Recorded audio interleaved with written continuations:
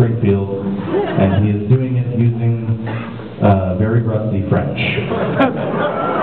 And this is called Je suis Rick Springfield.